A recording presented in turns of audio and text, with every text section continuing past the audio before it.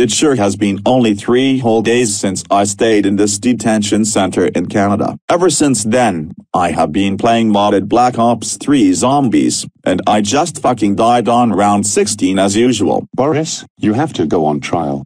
I think you might be innocent. But I thought I killed my own daughter, Rosie. Would you like to go on trial or not? Oh shit. I remember what happened now. Can I save it for the trial? Sure, but the judges are different. Is that the fucking judge from fucking Ace Attorney? All rise.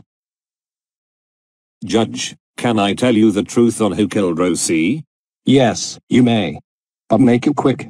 It was Joey Negro. Let me out, let me out, let me out, let me out. One one one one one one one one one one one one one one one one one Shut the fuck up I'm watching Super Why Rule 34 art.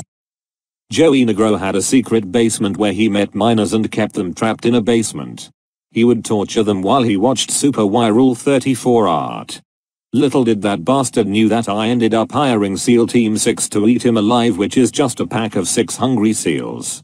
Fucking seals I swear. After I saved the innocent children from Joey Negro's terror reign, I ended up rescuing Rosie. However, Boris got to her before I could even get to her. I shot Rosie beforehand. No, you gents motherfucker.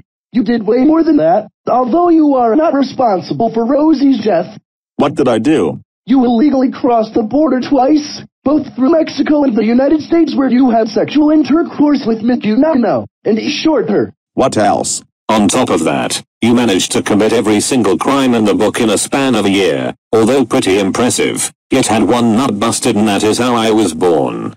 Judge, I want this fucker dead. Just like that one time I got to execute Boris at the end of a trial. Holy shit. Is that a fucking desert eagle?